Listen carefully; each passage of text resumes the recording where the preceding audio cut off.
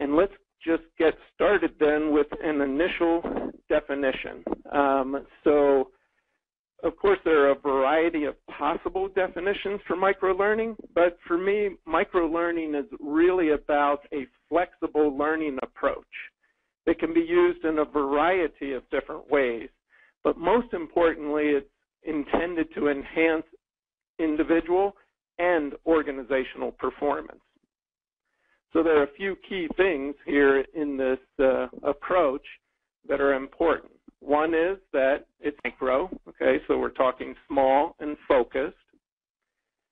It's about learning, micro learning. So we're really focused on that learning aspect. And so learning, we know, is the acquisition of new knowledge, skills, and abilities.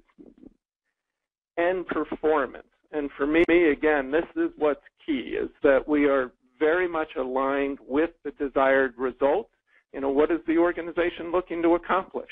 And how can our micro-learning asset or solution really support that performance, drive performance, generate performance? So that's really, you'll, you'll see that throughout what we talk about today, is that it's really focused on performance. So a few about what microlearning is not. Uh, so we can just sort of dispel some myths and misconceptions uh, that are out there. But it's not a new concept. Again, this idea of learning and being focused and, and really taking small pieces, weaving those into an overall strategy is not necessarily a new concept, but it's something that we're looking to refine and, and expand.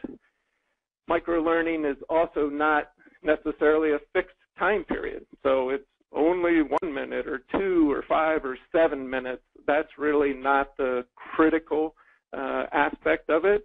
Um, it's more about what the content is, what the objective is for that micro learning. It's also not intended to be just one format. You know, often, um, especially with how popular YouTube is now, that the automatic assumption um, out there could be that it's, uh, oh, we're talking about a quick video that people watch. Well, yes, that's one form of micro learning, but there are many, many other types of e-learning that are possible.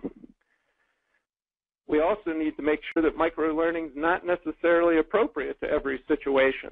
Um, and when we think, and we'll talk more about getting down to the task level, but it's not necessarily appropriate to every situation. And um, again, it's not just going in and saying, oh, okay, we have uh, a one hour course, let's chop it up into five minute increments. It's not really uh, that's not what microlearning is about. It's a, a much more in, intentional design process that we'll talk about. It's also not a single one-dose solution, um, meaning that, uh, hey, here's your one micro learning and now you're good to go.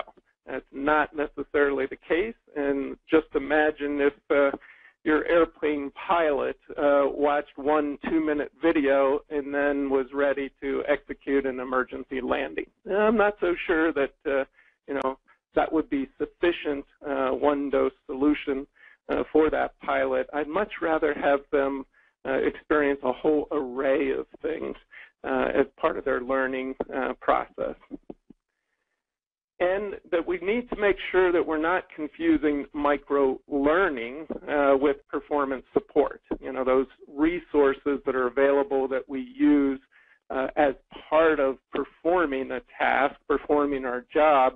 You know, micro learning is I learn and then I apply it, uh, whereas performance support is something I use while I'm doing that task. So just a, an important distinction between those two.